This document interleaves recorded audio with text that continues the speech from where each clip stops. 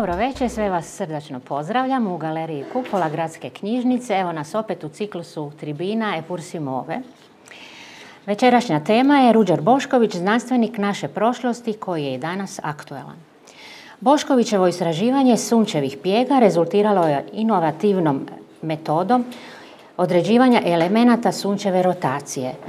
Boškovićeva metoda o kojoj se donedavno malo znalo po postignutim rezultatima jednako je vrijedna onima e, do kojih se dolazi danas uvriježenim postupcima. Pozdravljam e, urednika i voditelja večerašnje tribine, doktora znanosti Željka Bačića, koji je redoviti profesor na katedri za satelitsku geodeziju Geodetskog fakulteta sveučilišta u Zagrebu. Od 1999. do 2012. obnaša dužnost ravnatelja Državne geodetske uprave Republike Hrvatske. Trenutno je predstavnik Republike Hrvatske u Kopernikus komitetu Europske unije. Akademski delegat iz Hrvatske u Euro SDR-u organizaciji, član referentne savjetodavne skupine za svemir Ministarstva znanosti i obrazovanja, te voditelj Kopernikus Academy i Kopernikus Relay ureda u Hrvatskoj. Dobrodošli. Hvala lijepo. Sudionici tribine su doktor znanosti Roman Brajša, astrofizičar, znanstveni savjetnik u trajnom zvanju na observatoriju Hvar Geodetskog fakulteta Sveučilišta u Zagrebu. Član je Hrvatskog astronomskog društva, predsjednik od 2012. do 2016. Hrvatskog fizikalnog društva i kluba hrvatskih Humboldtovaca te Europskog astronomskog društva i Međunarodne astronomske unije. Međunarodna astronomska unija imenovala je 2022. godine prema Romanu Brajši asteroid 179901 Roman Brajša 2002 druga, dva, u A67. Čestitam vam.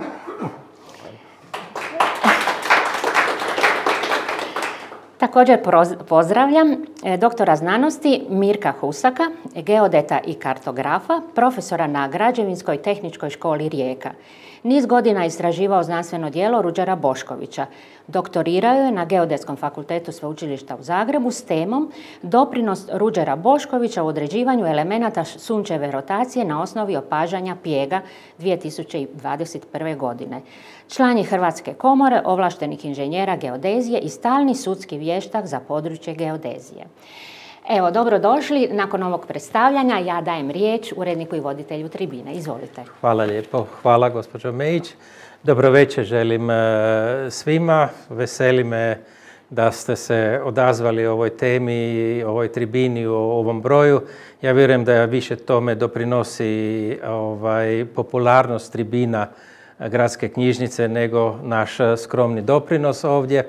Ovoga, I poticaj e, za ovu temu i za ovu tribinu je, kao što ste mogli shvatiti, doktorat i rad na doktoratu koji je kolega dr. Husak obranio 2021. godine, ali zapravo i okolnosti koje su se, da tako kažemo, e, e, sakupile tijekom izrade tog doktorata, naime činjenice da zapravo ova metoda o kojoj ćemo danas pričati je jednim dobrim dijelom bila zapravo zaboravljena, odnosno pitanje kako ona funkcionira i kako je Bošković doista izračunao svoje rezultate je ostala visiti na početku u zraku, to jest nije bilo dovoljno podataka da bi se to moglo napraviti, to jest da bi se to moglo rekonstruirati na jednostavan način. Drugo pitanje koje je onda proisteklo iz, e, tog, e, iz te situacije je zapravo kako se mi odnosimo prema znanosti i znanstvenicima iz prošlosti, to znači kako moderno društvo e, zapravo vrednjuje i pohranjuje, odnosno čuva te informacije, te podatke. U tom kontekstu Ruđer Bošković je još zanimljiviji od e, brojnih drugih jer je vjerojatno znanstvenik, hrvatski znanstvenik koji je, o kojem se najviše pisalo. Možda pored Tesle, e, vjerojatno dva najveća imena znanstvenika koja su došla iz, koja su porijeklom iz Hrvatske, a opet našli smo se u situaciji da smo zapravo došli do spoznaje da postoje dijelovi njegovog rada koji baš i nisu posve, jasni ili su, neću reći u potpunosti zaboravljeni. Ok, zna se Boškovićeva metoda, ali što je to, kako ona funkcionira, to na prvu zapravo više nije bilo tako jednostavno rekonstruirati. Sljedeći aspekt Boškovića, što mislim da svi koji su se iole bavili sa njime ili pratili ovoga, dakle, događanja i napise o njemu, su sadržani u činjenici da je on zapravo bio jedan izuzetno svestrani znanstvenik. Ne samo svestrani znanstvenik, on je bio svestrani, svestran čovjek po mnogo čemu znanstvenik, praktični inženjer koji je rješavao praktične zadatke, koji je konstruirao instrumente i uređaje. S druge strane, bio je svećenik, isto tako, dakle, školovao se zapravo za taj poziv. Naravno, u to doba kada je on živio, biti svećenik i znanstvenik su bile vrlo često pojmovi između kojih je stajao znak jednakosti. Bio je i diplomat isto tako, pjesnik, bavio se i arheologijom i tako dalje. Dakle, danas je zapravo teško naći u jednom čovjeku toliku svestranost i e, jednostavno zamisliti da neko ima vremena baviti se sa toliko različitih stvari u relativno za ono doba dugom životu, ali još uvijek prekratkom za sve ovo što je on pokrio i što je publicirao. Kada to prenesemo u današnje doba, dakle mi živimo u doba digitalne tehnološke revolucije. Što znači digitalna tehnološka revolucija? Govori možda e, najbolje podatak da je dan, dakle danas u digitalnom obliku, zapravo danas korigirat ću se, podatak je iz 2020. godine, bilo pohranjeno 57 zetabajta podataka. Zetabajti podataka su trilijuni gigabajta. Dakle, u osnovi nešto nezamislivo, ali zapamtimo broj 57. 2025. se procjenjuje da će biti 175 tih e, zetabajta, dakle tri puta više podataka će biti pohranjeno na svim različitim e, e, digitalnim memorijama. Isto tako kad govorimo o znanstvenicima, 95% svih znanstvenika u povijesti živi danas. Dakle, naravno i pojam znanstvenika se u nekoliko promijenio kroz povijesti u odnosu na današnjicu, ali zapravo to nam govori koliko, je, koliko su neke stvari, e, da tako kažemo, eksponirale u, sadašnje doba. Da pače, e, kada govorimo o podacima koje sam spomenuo, od kad je digitalno doba i od kad pohranjujemo digitalne podatke, više podataka je nestalo kroz oštećenja, uništenja ili bacanje digitalnih uređaja, nego kroz cijelu povijest, kroz požare, uništenja, ratove i tako dalje. Dakle, naše doba je zapravo izuzetno specifično Postali smo doista doba gdje se sve vrti oko e, podataka, oko informacija, ali s druge strane to je sa sobom povuklo i jedno pitanje, a to je digitalni zaborav. To znači da li e, to s jedne strane obilje digitalnih podataka, da li je ono da tako kažemo, istovremeno i blaženstvo i prokletstvo. Naime, da li je e, digitalni zaborav e, stvarna prijetnja ili je to samo floskula? Pa kada malo razmislimo o tome, danas znamo sve o svima. O znanstvenicima znamo sve. Odemo na, dakle, uključimo računalo, odemo na internet, možemo podatak naći o svemu i svakomu. Problem toga je možda da tih podataka ima previše. Dakle, podataka je toliko danas da zapravo ovoga ne znamo gdje su, gdje se sve oni nalaze. Informacije se ponavljaju. Ako kliknete, ako pišete Ruđer Bošković, naći ćete na stotine izvora koji pišu o njemu, ali u osnovi 90% tih informacija su iste. Dakle, prepisuju se jedne od drugih, tako da zapravo nemate novih izvora.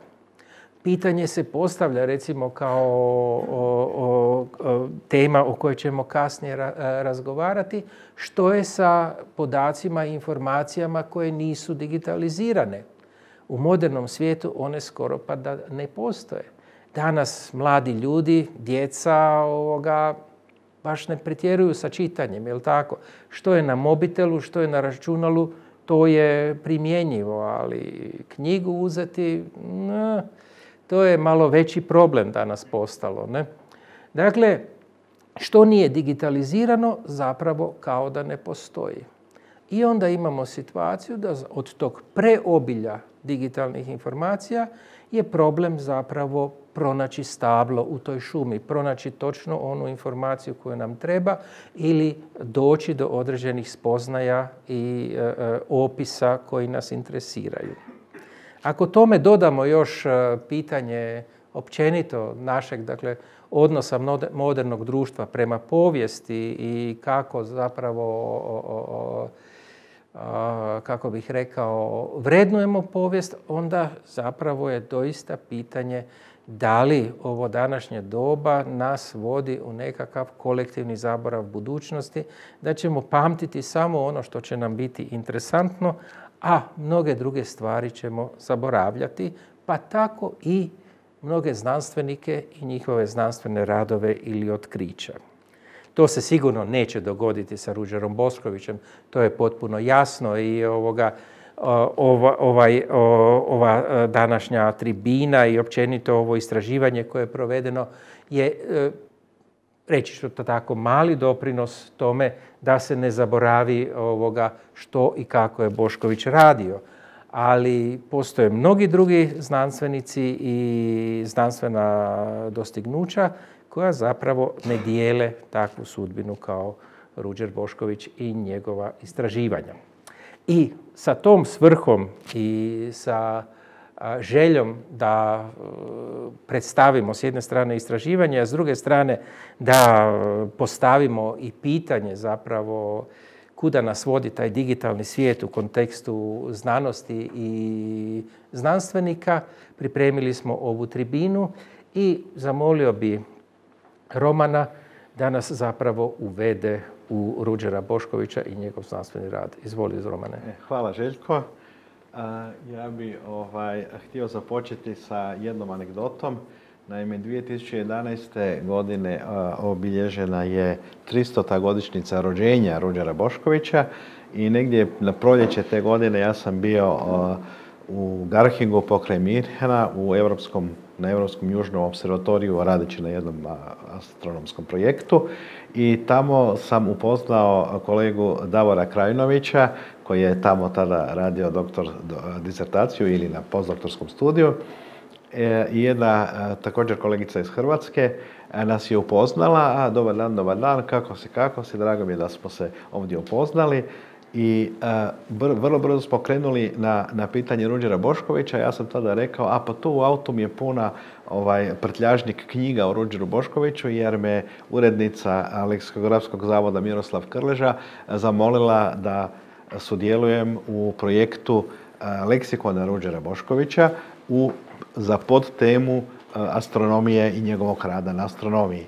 I Davor Krajinović, koji je ovaj, jedan izuzetan poznavatelj dijela Ruđera Boškovića se odmah priključio tom projektu i mi smo u tom leksikonu pokrili e, astronomski rad Ruđera Boškovića, a autori smo bili, što je vezano sa ovaj večerašnjim večerašnjim e, skupom i doktoratom koji će biti ukratko malo kasnije prikazan. E, dakle, profesor Špoljarić s Geodetskog fakulteta koji sada nije ovdje i ja koji smo ujedno kasnije bili mentor i komentor kod Mirkovog doktorata, Davor Krajnović, čijeg oca mogu pozdraviti ovdje u publici, drago mi je da je ovdje danas s nama, i Tatjana Kren, suradnica Zagrebačke zvijezdarnice. I mi smo pokrili jedan cijeli niz astronomskih tema u tom leksikonu. Evo ja ću ga još jedan sada ovdje pokazati. Možete ga kupiti u leksikografskom zavodu ili posuriti ovdje u knjižnici.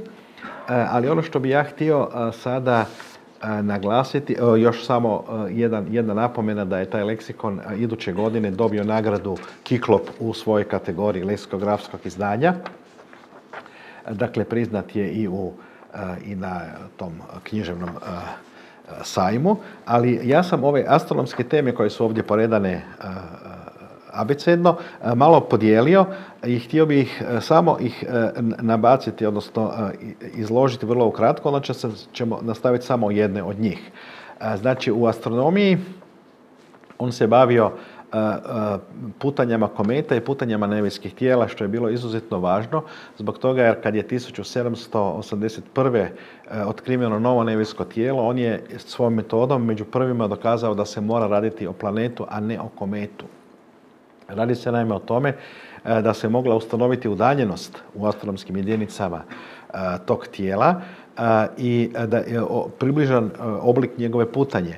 S obzirom da je putanja bila kružnica, odnosno blago izvužena elipsa, i s obzirom na udaljenost, to je upućivalo na činjenicu da kometi na tim udaljenostima se uopće bi teško mogli vidjeti, a druga stvar je da, da oni imaju parabolične i hiperbolične putanje. Dakle, dao je u tom smislu ključan doprinos razlučivanju o kakvom se objektu radi. Danas je to planet Uran. Nadalje bavio se pomrčinama sunca i mjeseca, polarnom svjetlosti, iznosio je svoje hipoteze što je uzrok polarne svjetlosti, ali danas nećemo ulaziti u detalje. Bavio se također proučavanjem tranzita, to jest prolaska planeta ispod, ispred sunčeve ploče.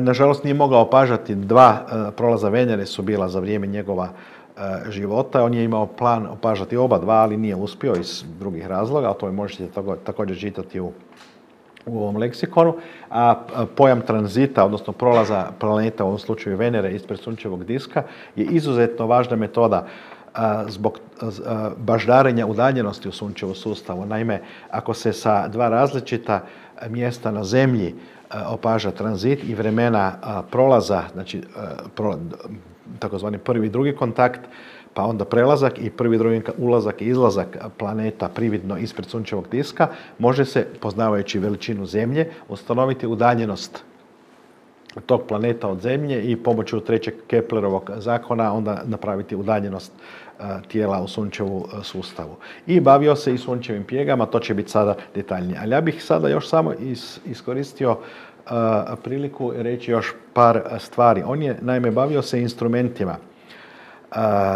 razvio je zapravo, osmislio, konstruirao kružni mikrometar, znači astronomski instrument za precizno mjerenje položaja nebeskih objekata. Isto tako je konstruirao teleskop s vodom i bio je kasnije u jednoj fazi upravitelj zvizdarnice u Breri. Dakle, bavio se praktičnom astronomijom.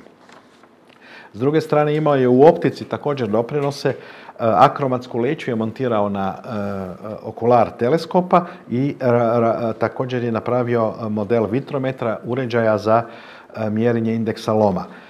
Ovo je sve važno zbog toga jer želim pokazati da je on zapravo razmišljao, malo kasnije ćemo se na to navratiti, na različite načine. S jedne strane kao teorijski fizičar, i tu sad dolazimo do ovog glavnog doprinosa u fizici po čemu je i izuzetno poznat, a to je njegova teorija jedinstvene sile, odnosno krivulje sile, o tome da da čestice na malim udaljenosti imaju privlačne i odbojne sile između sebe što je u stvari kasnije se pokazalo kao izuzetno izuzetnim lucidnim kako se to kaže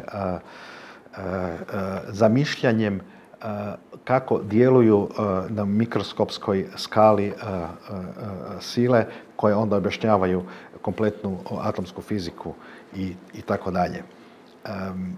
I tu bi ja ovaj, zapravo stao, ne znam da li imamo još aha, nekoliko primjera njegovih uh, vlastitih dijela. Ono što je također zanimljivo da ovdje imate ova filozofija naturalis teorija i tako dalje, latinski ne znam pa neću dalje niti čitati, ali zanimljivo je da su prve dvije riječi, prve dvije riječi istovjetne sa prve dvije riječi najpoznatije Newtonove knjige. Također filozofija naturalis i tako dalje, ali matematički.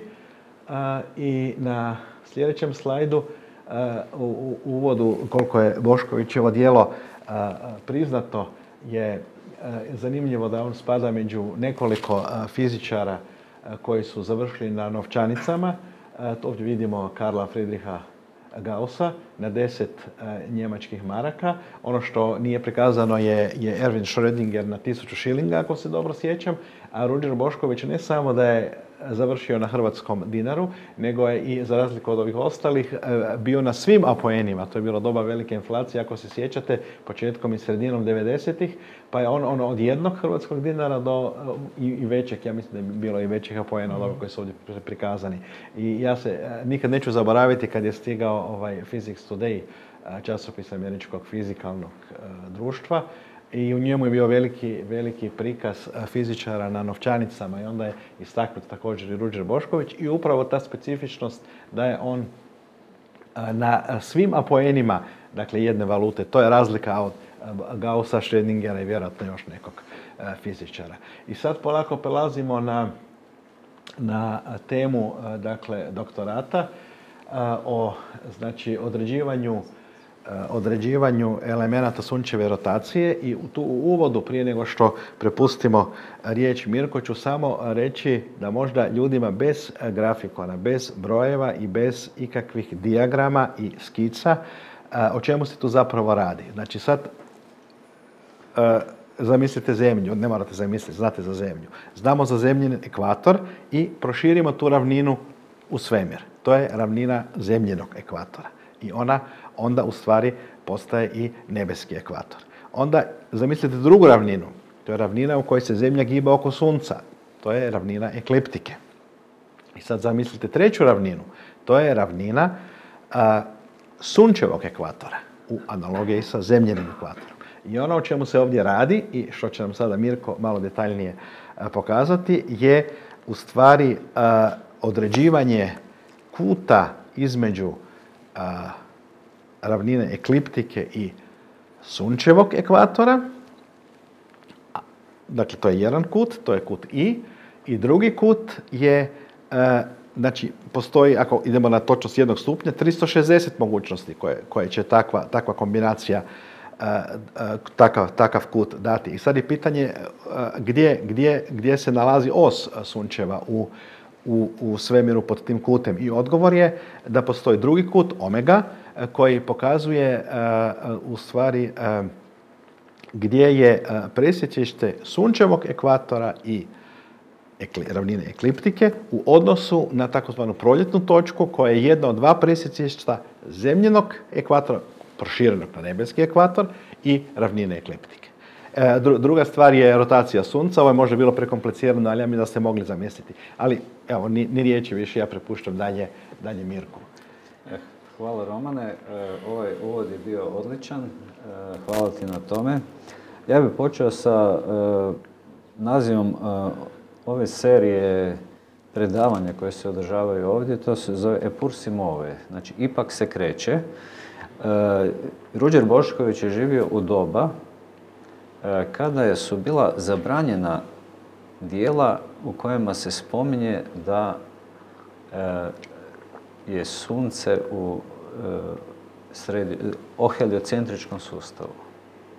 I to je dosta važno e, zato što je onda Ruđer Bošković morao e, dolaziti na razno razne ideje kako da on ipak istražuje taj dio jer je bio uvjeren da je Zemlja nije u središtu sunčevog sustava, zapravo da nije, da nije geocentrički sustav.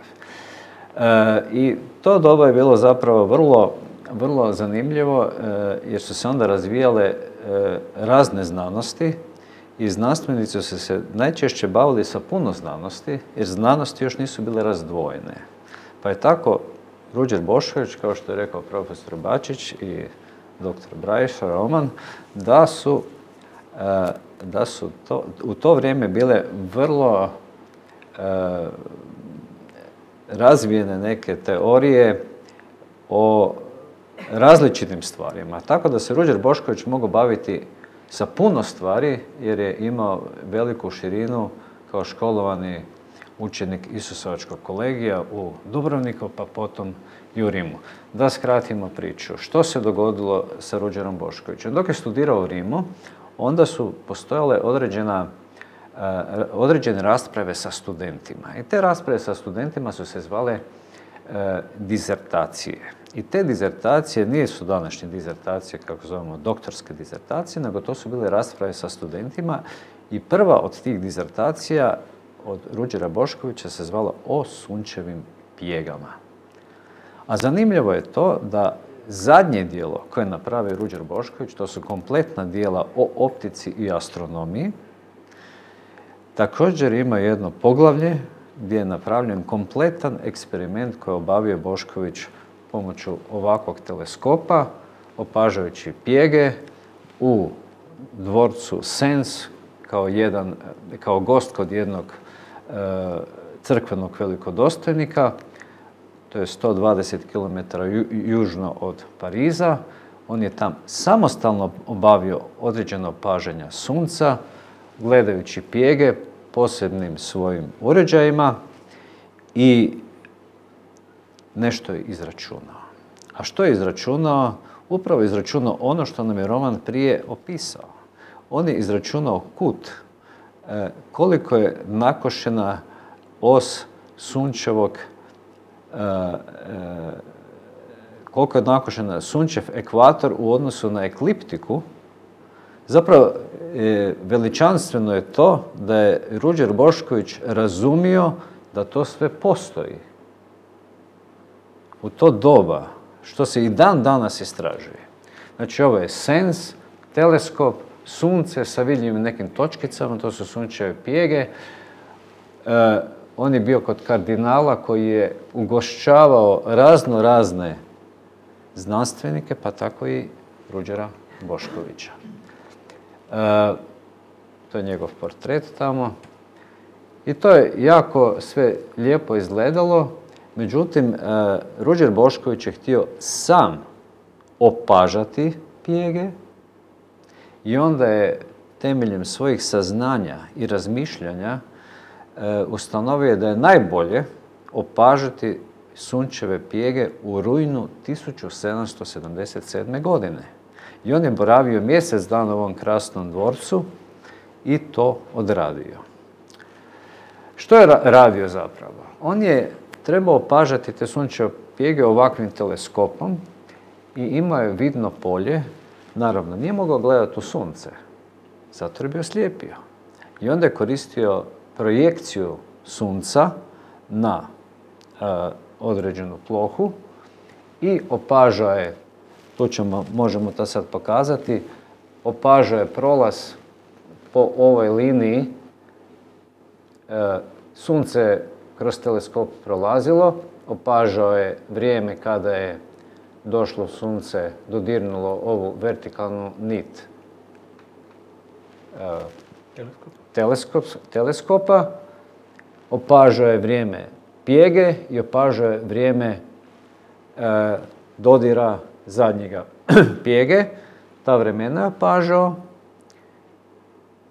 I onda je to opisao jednu ovakvu tablicu. To su vremena prvi rup, drugi rup i sunčeva pjega. I tu su još neki brojevi, da sad ne idemo u brojčane detalje. Temeljem tih brojeva on je odredio, on je odredio e, koordinate, numeričke koordinate e, sunčevih pjega na suncu, i temeljem koordinata sunčevih pjega na suncu iz tih numeričkih vrijednosti odredio je i nakošenost sunčevog ekvatora i onaj kut omega, znači e, longitudu uzlaznog čvora, kako se zove, i period rotacije sunca. Da se sunce moglo, e, da se sunce okretalo oko svoje osi, prvi je otkrio upravo Galileo Galilei. I to tako da je netom što je konstruiran teleskop, on taj teleskop primijenio u astronomiji, primjenu astronomiji je demonstrirao je mletačkom duždu 1609. godine i napisao određena pisma u vezi toga i tako dalje, da sad ne idemo u detalje. I prilikom opažanja sunca je primijetio da se određene točkice, ako možete profesore vratiti na prethodni slajd gdje se vidi onaj, samo malo taj ovaj, još jedan slajd prije ako može. Ove točkice, da se, da se te točkice, a to su sunčeve pjege, 14 dana vide i 14 dana se ne vide i ustanovio je da je zapravo period rotacije Sunca oko svoje osi oko 30 dana. A to je, temeljem one tablice koje smo prikazali sa onim opaženim vremenima, Ruđer Bošković sa vlastitim metodama, vlastitim teoretskim razglabanjima iz prvog dijela prve dizertacije o kojoj smo govorili o sunčevim pjegama, napravio vlastiti eksperiment gdje je očitavao te podatke za četiri sunčeve pjege, ali je prvo pjego iskoristio za računanje ta tri broja.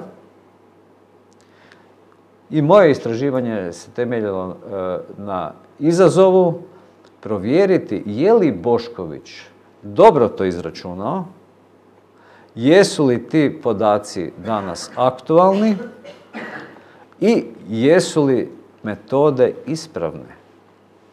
I to je u tim pitanjima koje su se razmatralo u doktorskoj dizertaciji sve pozitivno i odgovoreno. Metode su dobre, numerički su e, provjerene na njegov način, provjerene su novim matematičkim aparatom, prilagođenim formulama, jer je on radio logaritamski. Stari kolege publika se sjećaju logaritamskih tablica, da smo vadili neke brojeve i to su ti bili logaritamski izračuni unutar tablica. To je sve trebalo promisliti, vidjeti kako je on koji broj dobio i nakon toga što je, nakon što je to rekonstruirano, osuvremeniti formule da se vidi je li se one mogu i za današnje, e, za današnje podatke iskoristiti. To je na svega četiri stranice u toj e, njegove knjižici koja je objavljena na francuskom, to je starofrancuskom jeziku, što je bila velika barijera jer je trebalo to i prevesti. Ja sam pronašao jednog kolegu koji je bio i fizičar, i astronom, i poznavaoc francuskog jezika, koji mi je pomogao da to uspijemo rastumačiti. E, matematički smo zapravo uzimali formule sferne i ravninske trigonometrije za tri sunčeve pjege, C, C crtano i C dvocrtano i iz trigonometrijskih trokuta na ravnini, odnosno na sferi, su se mogli dobiti ti podaci. Znači to izračunati. Kako je to išlo složeno i ne možemo sad ići u detalje, ali su svi podaci zapravo provjereni i pokazalo se da su svi ti podaci vjerodostojni i da na tri načina određeni isti podaci su dali toliko slične rezultate da je to bilo zapravo nevjerojatno. E, ono što bi rekli da smo mi onda te podatke od Ruđera Boškovića e, transformirali u takozvane heliografske koordinate, a heliografske koordinate su koordinate slično kao geografske koordinate, kao što imamo geografsku dužinu i širinu, znači od Grinića do mjesta, od ekvatora do točke, tako i postoje takve slične koordinate na Suncu, pa smo mi te Boškovićeve koordinate pretočili u heliografske koordinate i vidjeli da putanje pjega zaista idu po e, heliografskim paralelama. To jest da su to zaista pjege na istim linijama i temeljem tih pjega koji su na istoj liniji su se mogle iz dva položaja pjege odrediti kutne brzine rotacije Sunca. A iz kutne brzine, toliko znamo svi, i period rotacije Sunca. I ustanovili smo da smo dobili vrlo slične rezultate. Tu su sad prikazane te sunčeve pjege koje smo vidjeli, znači e, sa svake kružište, prva, druga, treća, četvrta pjega, koje su datume u rujnu opažene, znači od 12. do 29. rujna i svi ti podaci su zapravo onda i obrađeni, jer je Bošković obradio samo za prvu pjegu podatke, a mi smo to obradili za sve pjege i sad bi ja predao zastavicu Romanu. Pa evo ga, na ovoj lijevoj, eh, eh, na lijevoj eh, slici možemo vidjeti na x osi je heliografska širina.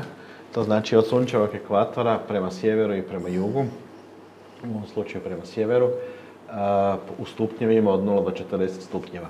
Pjege se ne, pojavljuju na visokim heliografskim širinama od 50, 60, 70 i tako dalje stupnjeva do pola koji je na 90 stupnjeva. Na y osi je kutna brzina rotacije, ovdje je izražena u stupnjevima na dan. I, ovaj, i to ta takozvana siderička, to znači u odnosu na zvijezde, to je ona prava brzina na suncu, a ne samo ona koja se opaža prividno sa zemlje.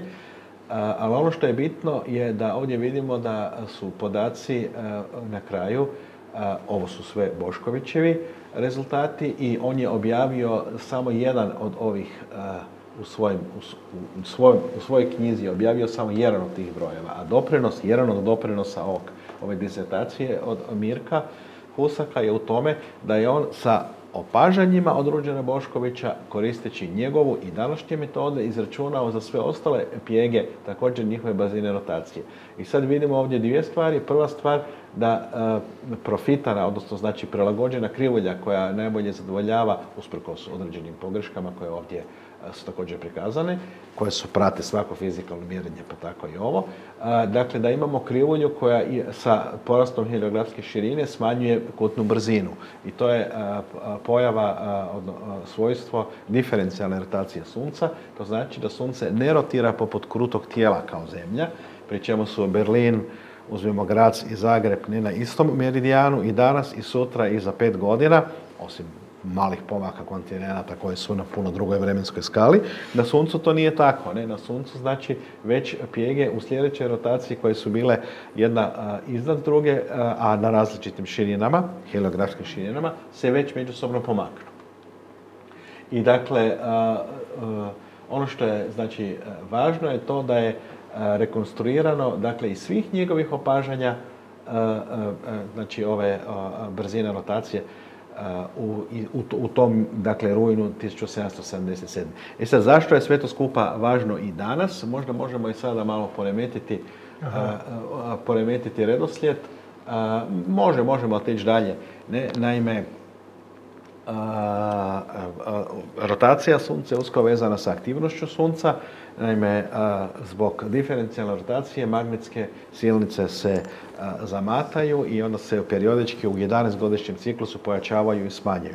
Ali ono što je bitno je da taj ciklus od 11 godina, odnosno 22 godine, ako gledamo kompletan ciklus sa reverzibilitetom magnetskog polja, na sjevernoj i južnoj hemisferi, da zapravo ima svoju znači periodičnu, svoju nasumičnu, stohastičnu komponentu, ali ima i kaotičnu komponentu, pa tako dolazimo do određenih duljih razdoblja kada e, uopće nije bilo pjega na suncu praktički i e, kada zapravo je sunčeva aktivnost potpuno zamrla.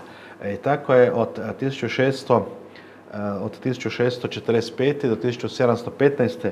E, bio takozvani Maunderov minimum, po astronomu Maunderu kojega je dva stoljeća kasnije otkrio, kada praktički uopće nije bilo pjega na suncu, a to je bila e, sasvim slučajno za vrijeme vladavine Luja XIV. Znači, pred prethodnika ovog Luja XVI. koji je ugostio Boškovića pod kraj Boškovićeva života u Parizu, koji je francuskog kralja Luja XIV. I e, ono što, sam, što bi sad zapravo htio samo još u ovom dijelu e, naglasiti je to da znači e, svako historijsko novo povijesno istraživanje aktivnosti i rotacije sunca ima važnost za današnju znanost i tako je su jedan, jedan dio rezultata iz ove disertacije je objavljen prošli, prošli mjesec u uglednom časopisu Solar Physics u nizu članaka koji zapravo rekonstruiraju na temelju svih mogućih i nemogućih, ali ne digitaliziranih povijesnih mjerenja i jedan veliki projekt digitalizacije svih tih povijesnih mjerenja je zadnjih deseta godina u, tijeku, čime se zapravo valorizira, vrednuje znači značaj upravo tih mjerenja iz znači kraja 18. stoljeća za današnju znanost. Ali o tome će još Mirko na kraju reći nekoliko riječi, a ja sad tu još bih htio naglasiti nekoliko aspekata Boškovićevog zapravo života, rada i u stvari najviše se koncentrirajući na, na njegovu metodu. Znači on je bio ugledni član akademske zajednice u svom vremenu u različitim dijelovima Europe. Kontaktirao je sa znanstvenicima iz mnogih država i s njima vodio rasprave o svim ovim aspektima prirodnih i drugih znanosti i o kojima se bavio a njegov e, rad, naročito iz fizike, je prepoznat e, u 19. stoljeću, inspirirao je donekla i Michaela Faradaya, a pogotovo u 20. stoljeću u okviru atomske fizike njegova ideja o privlačnim i odbojnim stijelama na malim udaljenostima e, ponovo prepoznata kao izuzetno važan rad, pa ga je tako i Heisenberg vrlo visoko cijenio na prethodnoj hrvatskim Leibnicom ga je nazvao. E, ali sada u, zaključnom dijelu ovog dijela, ono što sam htio naglasiti je ovo koji je značaj Voškovićeva u, u današnji, to smo donekle ovaj, odgovorili, ali ovo smo također govorili da je bio u prvom i u posljednjem znanstvenom radu, u prvom, znači, kratkom teorijskom, samo gdje je samo iznio metodu, a na kraju u opsežnim operama o astronomiji i optici gdje je e, e, puno, gdje je u stvari u tom dijelu e, ponovio svoju metodu, razradio nekoliko dvije podvrste, ako se dobro sjećam, i opisao svoja svoja vlastita mjerenja, kao što je Mirko lijepo prikazao malo prije. Ali, ono što bih htio zaključiti ovaj dio, je da tada pred desetak, znači više od deset godina kad je bila ta godišnjica, 300. godišnjica rođenja, sudjelovao s rođenja Boškovićevog, znači 1711. 2011. I onda u to vrijeme sam sudjelovao također na jednom ovako sličnom e, skupu, panelu, e, znanstvenom sastanku, na kojem je bilo govora o, o o znanstvenoj metodologiji, odnosno bilo je postavljeno pitanje je metodološke dileme, da li e, ove varijante A i B koje sam to istaknuo, da li se prvo kreće od jednog abstraktnog misaonog modela, jedne ideje, pa onda se iz toga ide u pokuse i u primjenu i tako dalje, ili idemo obrnuto, znači prvo eksperimentiramo, pa onda iz toga razvijamo neki teorijski model. I jedan ugledni neuroznanstvenik je tada e, e, forsirao, odnosno istaknuo navodeći naročito primjer Rođera Boškovića ili na primjer Izaka Njutna i Alberta Einsteina, da je ova A točan odgovor, da od abstraktnog mislornog modela, to je vjerojatno njemu odgovaralo u ideji neuroznanosti, znači sve kreće iz glave i onda iz odlične ideje idemo dalje u pokus, primjenu i tako dalje i tako dalje. Ali ja sam morao reagirati tada je rekao da upravo kod Boškovića to točno, ali da imamo i obrtni primjer i da imamo cijeli niz ovih eksperimentalnih radova koje je on radio, ali ne samo to, nego je on, kao što sam prije rekao, onaj, dao nekakve konkretne uređaje koje je konstruirao za poboljšanje eksperimentalne znanosti, akromatska leća, spomenu kružni mikrometar, teleskop s vodom, upravitelj zvijezdarnice i tako dalje, ali to je isto vrijedilo i za mnoge od ovih vjerojatno za sve osim Einsteina, i za mnoge od ovih drugih znanstvenika. Ne? Znači, Isaac Newton je najpoznatiji po svojoj teoriji, po Newtonovim zakonima i po zakonu gravitacije i po isto tako matematičkom infinitezimalnom računu, to svi znamo. Međutim, ono što možda ne znamo, ali isto tako znamo, ali se moramo podsjetiti da on konstruirao i novi teleskop u svoje doba, Newtonov teleskop. Idemo dalje, Johannes Kepler, on se bavio onim što bismo se danas rekli obrada podataka i iz podataka modeliranje. Da, ali napravio i Keplerov teleskop. Znači, jedan velik broj genijalnih umova u zadnjih stoljeća su koristili ovaj, ovaj model ovaj, ovu metodu od ideje iz, iz mozga pa onda dalje, prosmisleno, pametno, ali su istovremeno ti isti ljudi, ne drugi, isti ljudi radili ovo drugo. Od okulara, od teleskopa, od eksperimenta, pa onda razvijati teorijske modele. Evo, tu, tu bi ja ovaj, stao sa, sa, tom, sa tim dijelom i sad u zadnjem dijelu može Mirko još malo o, o aktualnosti njegove, njegove metode. Ja sam htio dodati da je i Ruđer Bošković također bio konstruktor i ne samo, ne samo tih optičkih i astronomskih instrumenta, nego i geodetskih instrumenta. Da je on napravio triangulaciju između Rima i Riminija i napravio prvu preciznu kartu papinske države sa Kristoferom Merom 1750 i ne znam koje godine i da je napravio cijelu, cijeli putopis, putovanje i tako dalje. O tome su i napisani brojni znanstveni rad. Znači on je bio i kartograf. Ja sam kartograf pa onda to nekako sa srcem ovaj, prihvaćam. Ali što se tiče e, e, također spomenute upravitelj eh, zvijezdarnice u Breri u Italiji, eh, Ruđer Bošković kao ugledni znanstvenik i član Kraljevskog društva londonskoga je vidio kako to izgleda na Griniću i to je preslikao i realizirao u Breri. Međutim, nažalost, zbog nekih okolnosti nije postao upravitelj te zvijezdarnice, što je bilo veliko razočaranje za njega. Međutim, on se nije dao slomiti on je, e, nakon što su ukinuli Isusovački red, uspio dobiti jedno dobro mjesto u e, francuskoj e, mornarici, znači državna služba, dobra, gdje se zapravo posvetio svojem znanstvenom radu da sve što je naučio i izučio iz optike i astronomije stavi u, danas znamo da je to petoknjižje, peto knjiže sa kompletnim njegovim istraživanjima. Jedno od istraživanja je bilo to e, taj oposkule, ili kako se to već šita, ne znam francuski dobro, e, taj e, kompletan eksperiment istraživanja sunčevih pjega koji sam opisao onako u slikama, da tako kažem. I to je zapravo napisano na francuskom jeziku, upravo u čast francuskome kralju, jer me to omogućio. A dijela su objavljena u Basanu, gdje je dobio studijski dopust, koji je tražio i produženje, samo da bi on to uspio napraviti do kraja kao što je zamislio. I naravno on je već se i bio i krhka zdravlja i tako dalje, ali je to sve uspio napraviti do 1785. godine. E, što bi još rekli o tim, tim sunčevim pjegama? E, još bi trebali možda reći ovu tablicu prokomentirati koja je zapravo preuzeta iz e, suvremenog, e, suvremenog velovog članka iz 1978. godine gdje je on popisao sve koji su istraživali te omege i iove o kojima nam je Roman govorio. Međutim, Bošković je nedostajao, jer to nije niko istražio. Opće, zaboravljeno, šta sad, što ćemo sad s time? E, i onda sam uz pomoć Romana i e, Drageca Špoljarića e, rekao, pa budemo mi stavili Boškovića unutra, ako može. Ako može. I može, i može, zato jer se podaci uklapaju u tu tablicu, to je jedno.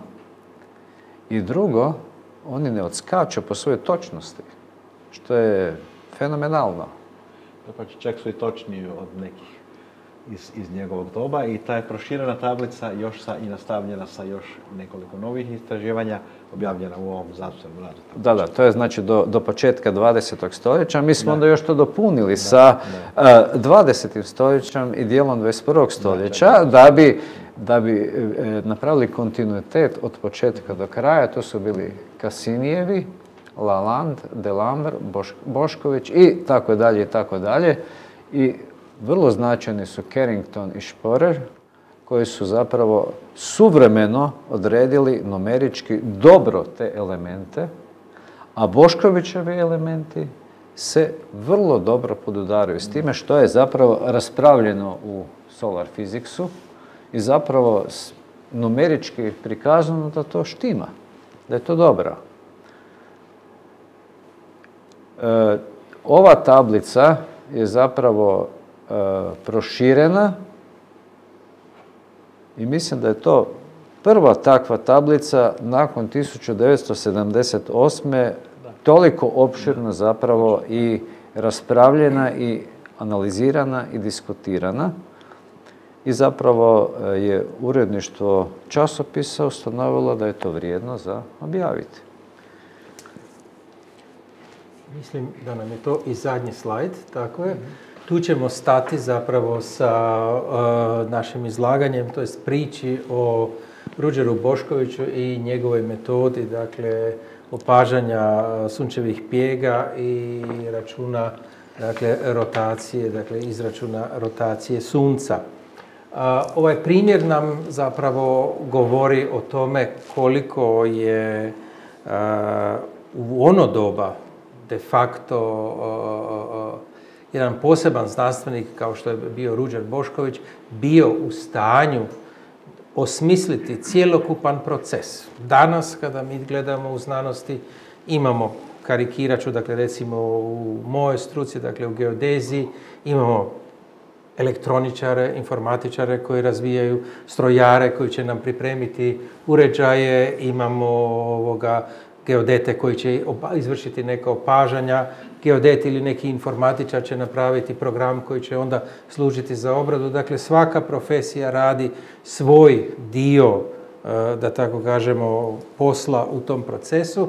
Ovdje, što je i Mirko naglasio, Ruđer Bošković je sam od početka do kraja, dakle od konstrukcije teleskopa, preko opažanja, razvoja metode, dakle matematičkog operata do izračuna, sve sam obavio, dakle sam je cijeli proces ovaj, proveo.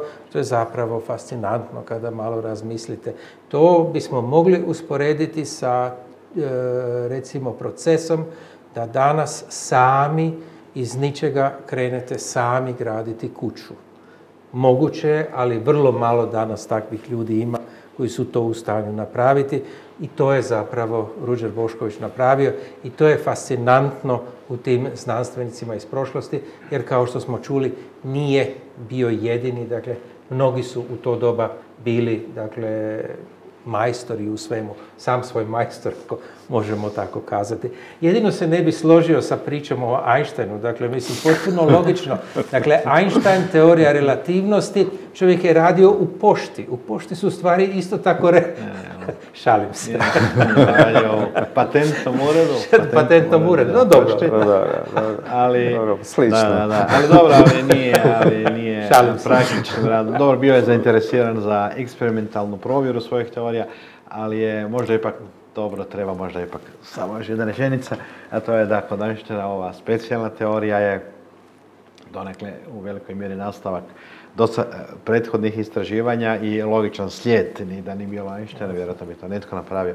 Ali opća teorija relativnosti je, prema onome koliko sam ja čitao i čuo, je doista proizvod uh, ona A.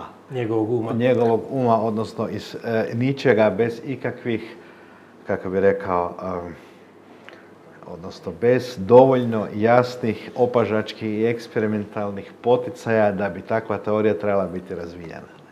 Nego samo na temelju onog A, čisto iz glave pa nadalje. Ne, dakle, moja nije, nije dilema A ili B, nego A i B. Ne, I ti, sa time smo završili i ako neko od vas ima pitanje prema kolegama ili želi doprinijeti ovoj tribini, ja mislim da je to uobičajeno da je tako, prema tome, izvolite, kolege su raspoloženi za priču.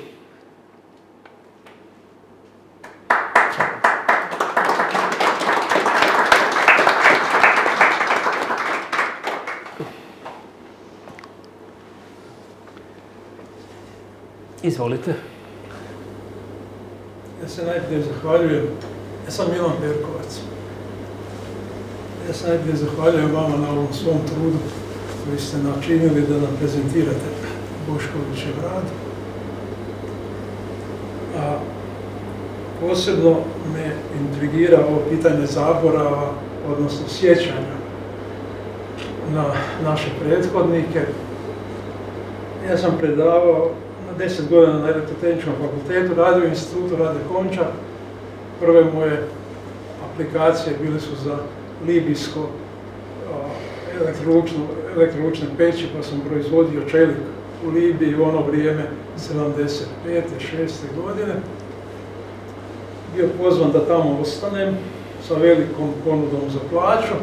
Njegovi ministri, dakle Gaddafi u to vrijeme bio kapot i banda, pa je imao analogiju ministara, međutim to se nisu tako zvali, su nudili meni 5000 ovih e, dolara plaću u to vrijeme, ja sam supruga je nezaposlena, šta je ona farmaceut, pa dobro, njoj ćemo dati tisuću, ostanite u Libiji raditi da bi ta čeličana tamo mogla dobro funkcionirati sa mojim regulatorima.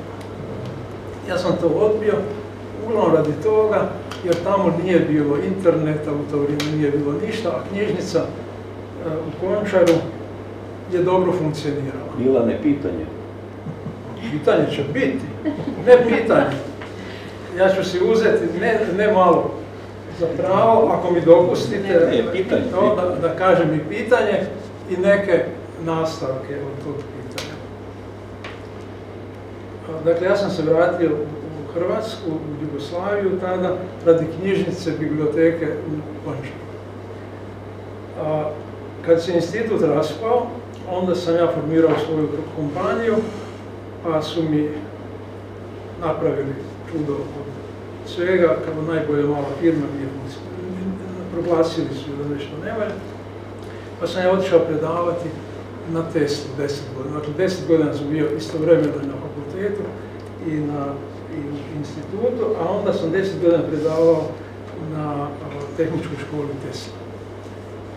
Tamo sam predavao mjerenja. Sad dođemo na pitanje postavlja. Jedno od mojih ishodišnih predavanja je da pokažem đacima kako se od sedam osnovnih mjernih jedinica, metar, kilogram, sekunda, amper, kandela, kelvin i mol, mora objasniti sve ostale fizikalne veličine. Sad ja ispišem dvije ploče kako se Newton izvede od kilograma metra, od osnovne jedinke, tako redom i tako da vam se zamaram. A jedan od uh, đaka mojih kaže, profesore, sve ste lijepo objasnili, a sad mi recite da svaka fizikalna veličina ima svoju mjernu jedinicu. Sad mi recite kako ćete mi opisati miris. Miris. Njihov profesor je zastao. Dakle, ja sam zastao, stao i za- zabezeknuo se, moram upotrijebiti taj izraz. Ja ne znam opisati sa ovih sedam jedinica miris. 14 dana sam ja o tome razmišljao i kako ću ja ponovo doći na predavanje da pričam tu tezu da se sa sedam osnovnih jedinica izvede sve ostalo. Nemam izgleda to postići i dosjetim se Boškovića. Boškovića. Kako sam Boškovića, njegova teorija prirodne filozofije, ja listam tamo knjigu. Vrste tvari, ako je miris fizikalna veličina, a neosporno jeste, onda se on mora naći u vrstama tvari koje Bošković spominje na 48. stranici svoje teorije, trećem izdanju. Ja dođem pred njih, rekao, ljudi, mi moramo uvesti novu jedinicu koja će opisati fizikalnu veličinu mirisa. Pa onda neka se zove vrsta tvari. I tako sam ja prije 8 godina ovdje kod Ismene održao to predavanje. Od vas nije tada niko bio prisutan. Ističući Boškovića kao, mogu, kao mogući potencijal za novu mjernu jedinicu. Metar, kilogram, sekunda, amper, kandela, kelvin i mol, sedam i Bošković, osma mjerna jedinica. I sad zaokružujem sve ono što ste vi ista- istakli. Ako mi uspije, ako nam, sad tražim vašu podršku, ako nama uspije proglasiti osmu mjernu jedinicu za vrstu tvari imenom Bošković, onda ćemo mi sačuvati Boškovića za tisuće godina unaprijed. Jer samo je amper, zapamtite, samo amper i kelvin od svih znanstvenika, od svih znanstvenika na svijetu sam, i treći će biti Bošković po mom nahođenju. Nemam pitanje dalje. Tražim podršku od kolega. Mogu ja sad pitati. Pitajte. To mi je drago da je Milan spomenuo, jer ovdje je bilo predavanje, tu si bio sa mojim Stipom i Pavunom o jedinici Bošković, bolje da ja nisam tada bio na tom predavanju. E, spomenuo je bitnu stvar kao i gospodin u uvodu. pitanje zaborava naših velikana i Ruđer Boškovića, ali ista je priča sa Teslom. Samo što ja primjećujem? Primjećujem e, jedan tipični stereotip. Pazite, kad se priča o Tesli, onda se svašta nabroji, a ne kaže se ono bitno. Sa Ruđer Boškovićem je slična stvar. Niste vi prvi koji ste puno toga nabrojili, uvijek se to tako nabraja. Međutim, ja postavljam sebi, a i vama, pitanje. Dakle, rekli ste, on je član Royal Society postao. A osim toga i današnji institut gore nosi njegovo ime. Dakle, ima neki razlog zašto je on postao član Kraljevske akademije. A naveli ste da je matematičar, da je predvidio model atoma, to je malo pretencijozno reći jer on nije dokazao nijedan matematički teorem, jer čovjek koji ne dokaže nijedan teorem nije matematičar, on se samo služio matematikom. A drugo, preteča modela atoma to isto ne stoji, to je slično kao što je Mesić nekada rekao da je Tesla preteča lasera. Dakle, to hoću reći, uvijek se govori puno toga i o Tesli, o Ruđeru i možda još nekima, ali ja postavljam pitanje zašto je on uopće postao član Royal Society, to je jedno pitanje, a drugo zašto na koncu se ovo na Brt gore zove po njegovom ime.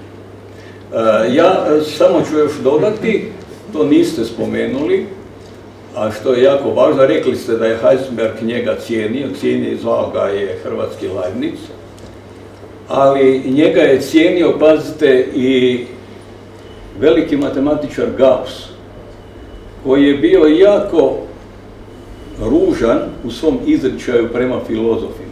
On je za sve filozofe manje više rekao da se u svašta petljao, ništa ne razumiju, ali za Ruđer Boškovića koji je bio filozof se to nije usudio reći, on je njega cijenio, ali ga je cijenio zbog kasanomije.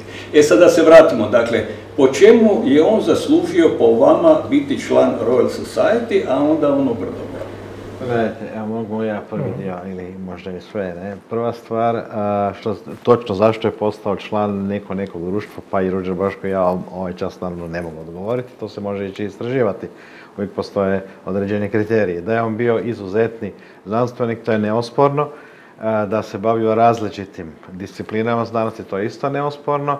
I ovaj, to je prepoznato očito i na taj način je ovaj, već u svoje vrijeme bio cijenjen i zbog toga je onda postao član niza takvih znanstvenih društava. odgovor na drugo pitanje po profesor Supek kad je tražio, kad je osnovao institut Ruđer Bošković je dakle želio pronaći jednu osobu iz iz dakle, hrvatske znanstveno-kulturno-povijesne baštine koja bi odgovarala, ako se ja dobro razumio njegove argumente, a, najviše u tom smislu, znači jedinstvu znanja, znači da to sad ne bude specijalizirani institut za spektroskopiju, specijalizirani institut za molekularnu biologiju, nego da to bude jedan sveobuhvatni institut, mislim ja ne rad, nisam nikad radio na Rođe Bošković, nemam veze s tim direktne, osim što surađujem s kolegama, ali ako razumijem, to je ta ideja. Ideja je bila o sveobuhvatnosti prirodnih tehničkih e, znanja i znanosti. I to je bio razlog. Ne, to je razlika između Ruđera Boškovića i možda nekog današnjeg e, najcijenjenijeg hrvatskog znanstvenika, čije ime sad uopće nije važno, koji je možda doprinio daleko više znanosti od Ruđera Boškovića, ali samo u jednom uskom segmentu znanosti, a ne, a ne ovako široko kao on. To je bio argument. A ovaj treći dio vam ja ne mogu što se tiče ovog znači modela atoma. Naravno da nije dokazao, ali to vam je ista dilema sa mnogim znanstvenicima. Znači tu imamo, moramo razlikovati razine spoznaje i provjerljivosti. Mislim, ćemo do sutra ujutro ako odemo predaleko, što nipošto ne želimo, ali ono što ću ja ipak istaknuti je da, znači, on naravno nije dokazao, to je teorija u onom smislu se smatrala teorijom kao više u smislu hipoteze. A što se tiče znači najvažnija modela atoma, znači on naravno nije imao eksperimente iz atomske fizike, nije imao nitko u tom razdoblju eksperimente iz atomske fizike. Ali imao je krivulju sila sa privlačnim i odbojnim djelovanjem. I to je to je intuitivno, znači točno. Znači vi sad imate pitanje nekog znanstvenika X iz povijesti koji je zapravo u pravu, a to ne može dokazati. Da li to njemu prednost ili mana? Galilej imao isto tih problema.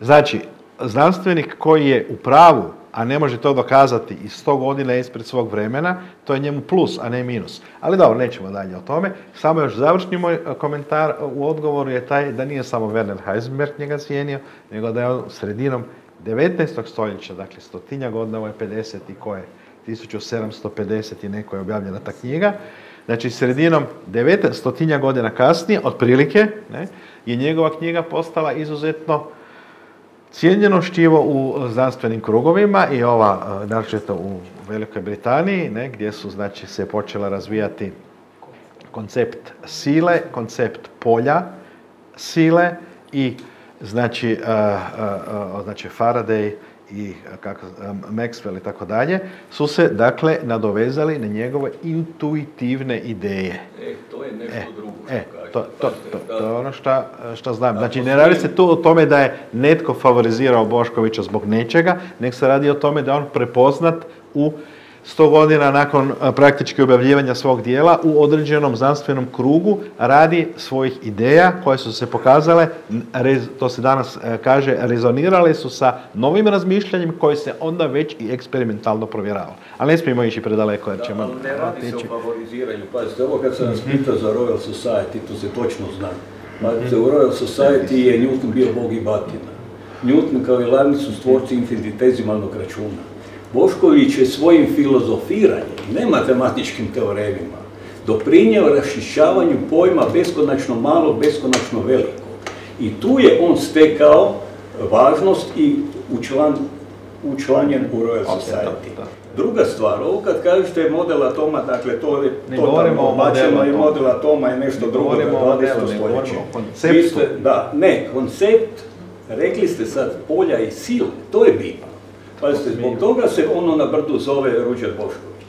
Međutim, ima sad jedna druga povijesna kvaka, a ja sam to u svom predavanju spomenuo kad sam imao, taj institut gore je atomski institut. Vi ste sve nabrojili šta on ima, međutim tamo je srce instituta fizika, posebno teorijska fizika. Od samog početka, tako je zamišljena, ako se sjećate kako je to u Jugoslaviji išlo, da, Vinča, ono, su dali teorijsku fiziku ali onda se trebao institut zvat drugačije, znate kako? Stjepan Mohorović. Jer Stjepan Mohorović je najveći fizičar između dva svjetska rata, koji je otkrio, predvidio postojanje pozitronija. To je atomska fizika i kvantna teorija polja. Ali, s obzirom da je Ivan, e sad ću reći veliku istinu ovako javno, s obzirom da je Ivan Supek jedan od onih koji je zatajio Stjepana Mohorovičića, o njemu je dobro došlo da taj institut nazove po Ručeru Boškoviću. Pazite, iz Akademije HAZO svi članci Stjepana Mohorovičića, koje on objavljivo astronomiše nahtarih i svim njemačkim časopisima, iz časopisa su istrgnuti. Ali to je druga tema. To je tema. Samo, samo bi sada htio se osvrnuti na drugih pitanja, je, samo na zadnje. Spomenuli ste opću teoriju relativnosti ali tu se malo fule. Znate ko je za to zaslužan? Ne znam. Ja sam došao do knjige faksimila pisama koje je Einstein pisao svojoj supruzi Milevi Marić. Ona mu je otkrila matematiku. Stvarno.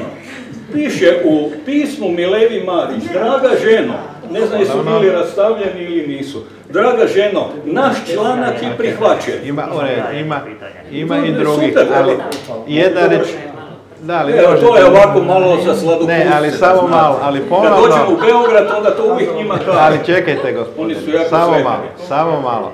Znači, ponovno, ne radi se o matematici, nego o konceptu o ideji. Matematika je tu Ne, to je korak dalje. I druga stvar vam još moram reći da znači nemojte podcjenjivati Bošković nije koristio diferencijalni račun Newtonov i Leibnicov, ali je zato se koristio analitičkom geometrijom. I on je iste stvari, potpuno jednake kvalitete napravio na drugi teži ili lakši način. Nije po definiciji ali moramo matematičar, Je, je, ali točka. Idemo dalje. Izvolite profesore Vujnović. Mogu jedno pitanje iz današnje teme. Čuo sam da ste rekli da je period rotacije Sunca 30 dana. Je li to siderijski ili sinodijski, obzirom na sunce, obzirom na zvijezde ili obzirom na zemlju? Pa, E, e, evo, što se toga tiče, e, profesor, to je doktor Braša možda tu Dakle- bolje potkovanije, ali je oko 30 dana, ali manje... 25-29, da. Da. 25-29 dana, s tim da je dakle, siderička brzina, znači stvarna brzina u odnosu na zvijezde je za jedan stupanj na dan veća, to znači da je period malo kraći. Ne? Znači od 25 do 29 dana. Ne? I ta korekcija je također jedno posebno, nismo sad sve tu ulazili, sve ostale detalje, zašto se omega mijenja zbog precesije zemlje, zašto se ovaj, ta korekcija siderički i sinodički također mijenja zbog eliptičnosti, nije konstanta, zbog eliptič, eliptičnosti zemljene staze oko sunca, odnosno primjenjive brzine zemlje oko sunca. Pa onda prividno, prividno nam imamo a, korekcija koja ovisi o godišnjim dobima i tako dalje. Ja bih samo nešto komentirao vezano za Royal Society i vaše pitanje i komentar. Dakle, svi znamo da postoji niz znanstvenika koji su napravili neka otkrića ili rješenja koja su ostala nezamijećena desecima, stotinama godina, pa su doživjeli posthumno zapravo priznanje kad se, da tako kažemo, prepoznalo ili da neko je, da tako kažemo, argumentirao zapravo postignuće i otkriće neke osobe. A, to je možda povezano i sa karakterom pojedin, dakle ljudi, pojedinaca.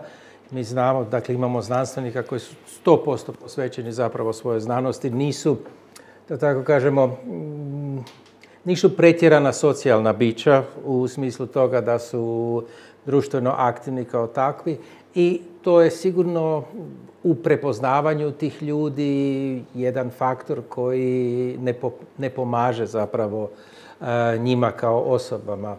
Bošković je tu upravo suprotan primjer, dakle on je bio osoba koja je bila toliko e, raznovrsna, koja je zapravo imala dakle uspjeha, moramo tako kazati, skoro na svim pod, ne skoro, nego na svim područjima kojima se bavio diplomacijom ovoga.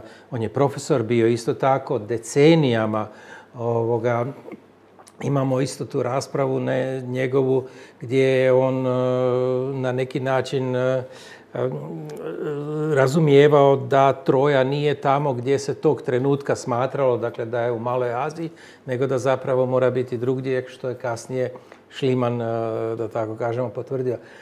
Što je onda isto tako doprinjelo, sigurno, Newton je bio nekako njegov glavni, ajmo tako kazati, neću reći konkurent nije dobra riječ, ali diskutant e, u raspravama koje su vodili i tako je, oni su raspravljali i sigurno ako vi nađete mm, a, a, a, sugovornika s kim možete raspravljati, većina ljudi, znanstvenika to cijeni, jer je to uvijek poticajno kao takvo. Ne. Ali isto tako je primljen u Rusku akademiju znanosti gdje je opet imala tu i njegova diplomacija i stvari koje je odrađivao na ovoga na porti u Carigradu i tako dalje, isto sigurno određenog Onda bi doprinosa. Granić Radman odmah bio članak. Onda bi to bio kriterij. Nisam rekao da je kriterij, nisam rekao da je to kriterij. Samo sam rekao da zapravo ovaj, a, postoje i drugi aspekti koji utječu na to osim isključivo a, znanstvenog rada. Tako. No, ako možda još netko želi nešto pitati ili kazati, ja bi možda priveo ovu našu... Možda samo Izvolite, bijega, Da. kako sto- stoje stvari u ovom trenutku. Sunce ide prema maksimumu koji se očekuje iduće godine. Zadnjih nekoliko maksimuma su nešto blaži nego prije toga. E, Možemo očekivati po pitanju tih maksimuma na zemlji, jer postoji neki utjecaj signifikantan.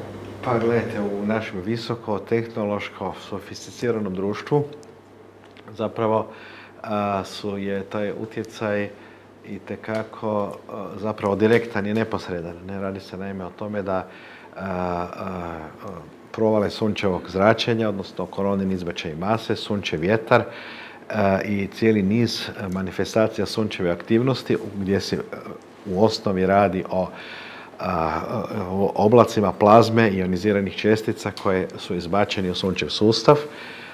Među djeluju sa satelitima, sa sondama, sa zemaljskim električnim uređajima i tako dalje i da ovaj, zbog toga u, u znači jedan veliki praktični aspekt istraživanja sunčeve aktivnosti, fizike sunca upravo u tome da se predvidi kakav će biti kada i u kom intenzitetu, na primjer, idući sunčev maksimum, jer o tome ovisi također i visine satelita, naime i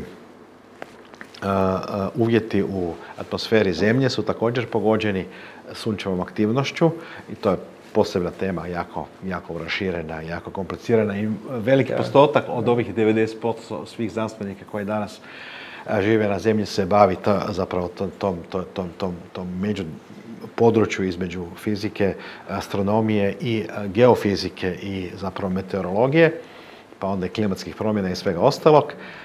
Dakle, izuzetno, izuzetno važno područje istraživanja. Znači, s jedne strane polarna svjetlost kao jedan lijep i interesantan fenomen, nema tu, nema taj aspekt opasnosti, ali u prošlim stoljećima te utjecaj bio, znači nije bio zbog ovog visokotehnološkog društva, nam je u stvari to puno važnije. Možda samo, samo jedna, jedna rečenica, to je da su ovi astronauti iz misije Apollo, 69. do 72. imali ogromnu sreću da ih zapravo nije strefila niti jedna sunčeva oluja. Ne. Koliko je to bilo sreća, koliko je to bilo dobro planiranje, to ne mogu ulaziti. Da bolje zna Branka Izbačaj mase idu sa maksimumom ili tek naknadno? Ne, imaju svoje, imaju svoje, imaju svoje, svoje su zapravo stalno prisutni, ali imaju svoju ovisnost o fazi sunčevog ciklusa, ali ono što je puno važnije o tome da li će pogoditi, zahvatiti, jer oni su zapravo usmjereni zbog zamrznutosti plazme u magnetskom polju iz Arhimedovih spirala po kojima se čestice kreću u oba smjera u heliosferi, odnosno prema i od Sunca, je u stvari puno važnije izračunati da li će određen tok plazme zahvatiti Zemlju ili neki satelit za koji se zna, ili neki planet, ili Mars u kojem će eventualno u budućnosti biti ljudska posada. Da, to se modeli takvi se rade. Ne, ne, ne, to nije nuklearna fuzija, to je, ne, to, to nije Od čega, je, od čega su onda protuberanci i cijela aktivnost Sunca? E, pa nemojte Ne, ne, to je magnetohidrodinamički nije to samo od sebe. Nuklearna fuzija je izvor energije Sunca. Pa cijelu priču radi nuklearna fuzija, gospodine. Da, da, da. I ciklusi su svi povezani sa nuklearnom fuzijom. U širem smislu, da. Ali magnetohidrodinamika. Ne, ne, naravno da ne bi mogla biti da nema izvora, izvora, izvora energije koji je nuklearna peć u središtu. Ali ono samo što sam htio reći da na Zemlji imamo veću sreću nego na Marsu jer imamo dobru vlastitu zemljenu magneto, magnetsko polje, odnosno magnetosferu koja od nabijenih čestica štiti većinu, većinu zemlje od, od, tog, od dotoka tog zračenja, što Mars ima praktički nema ili u puno manje mjeri praktički nema. Ne. Tako da će u stvari buduća postana na Marsu morati to uzeti u obzir puno više nego, nego mi. Ja bih samo vas informirao o jednoj stvari, puno se vraćam na zabor znanstvenika. Mene je osma znanstvena konferencija u Matsu u Japanu pozvala da održim svoje predavanje u prijedlogu moje nove mjerne jedinice Bošković. Ja sam za tu svrhu pripremio tamo predavanje, a pripremio sam još nešto drugo. E, Hoćeš predavanje održati. Ne, stvarno mi htio pokazati hrvatske dinare. Ja ne, ne razumijem vaš stav čemu bi zapravo se ovako ponašali? Pa ne znam zašto... Ja to hoću pokazati, Samo hrvatske dinare. Odlično, puno vam hvala, prekrasno, ja da, ja ću održati je predavanje. numizmatičarima. Predavanje poslao sam gospođi iz tako, Imate ga ovdje, Odlično. imate i ovaj dokaz Je, to bi, o vrijednosti Boškovića. numizmatičari će to sigurno. Neće numizmatičar, ovo ima 20 tisuća eura vrijednosti. Eto. To nije numizmatika, to je nešto više od Mhm. toga. Ja ću vam pokloniti kad bude došlo vrijeme Ok. jednu novčanicu od toga, nećete ju lako naći. Da, znam, nema ih, da, nema Da. ih više, nismo. Prema, prema tome, Da. Maco, Ja ću ti doći na predavanje kako to ne bude. Je. Ok. Hvala puno. Dakle, Japanci su nakon osam Mhm. godina što sam ja održao predavanje tome, mene pozvali da održim to predavanje u Čestitam, Japanu. Pa vas molim još jednom treći puta, vaš stav i želju i podršku da se založimo, da se nova mjerna jedinica za vrste tvari nazove prema imenu Bošković, a sve ovo što ste vi govorili to zaslužuje. I tada će to biti treći znanstvenik u svijetu, pored Ampera, Kelvina i Boškovića. Dakle, nećete nikad imati drugu priliku istaknuti tolike vrijednosti Boškovića kao kroz sedam pa osam mjernih jedinica. Oprostite na intenzitetu mog izlaganja. Hvala. Evo, zahvaljujem e, izlagačima, predavačima i uredniku. Uistinu je bilo zanimljivo to što smo naučili, što nismo do sada znali. Uistinu vam zahvaljujem. Također zahvaljujem publici koja je postavljala odlična pitanja. Uvijek je dobro e, i ta žar diskusije je dobro došao. E, O Boškoviću, naravno, ovo je druga, treća tribina. Bošković je tema kojoj smo se mi posvetili i meni je uistinu drago da smo i ovaj aspekt Boškovićevih istraživanja i znanosti dotakli. Sigurna sam da će biti još poneka u budućnosti. U svakom slučaju ja navijam za Boškovića. Evo, zahvaljujem svima.